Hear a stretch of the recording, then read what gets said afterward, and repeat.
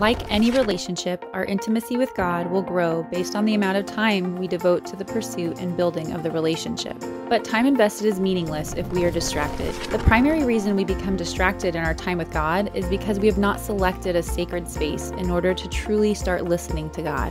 Psalm 68, verse 5 in the voice says, The true God who inhabits sacred space is a father to the fatherless, a defender of widows. Some of life's busy distractions for us include worries over what we read in the news fear of failure in our jobs or academic performance, or stress over our health or finances, for example.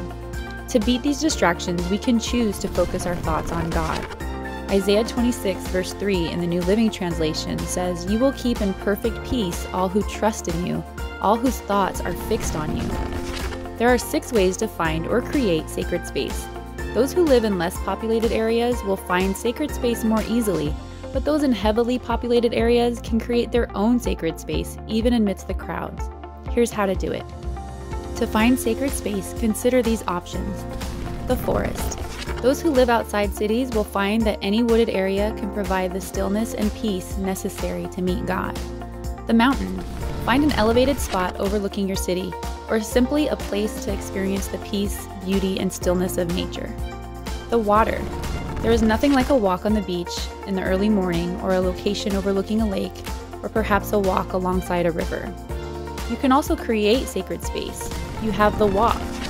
If you live in the city, it is absolutely possible to map out an intricate and creative walk through the neighborhood.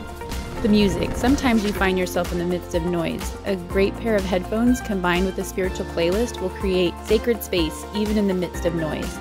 You can make your own spiritual playlist by finding songs that make you think of God to help you shift your focus to Him. The closet. If all else fails, you can read or pray in a smaller space, or create a closet in your backyard, or a special table tucked into a corner. This with a cup of coffee or tea and a favorite treat, and you will quickly find yourself being able to read and pray with your total attention on God.